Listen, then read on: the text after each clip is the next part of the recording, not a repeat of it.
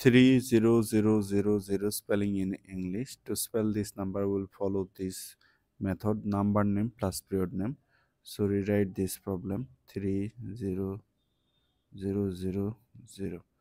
Look, three digit makes a group which is called periods.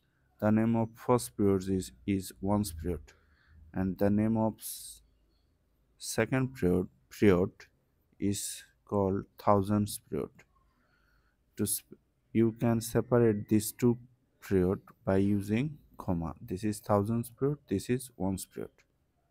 Okay? So write the number name. We are getting in thousand period we are getting the number 30 so write 30 t h i r t y. 30 then you have to write period name. 30 is in thousand period. So write thousand. T h o u s a n d don't add s 30000 in case of ones period we don't write the name of ones period so this is 30000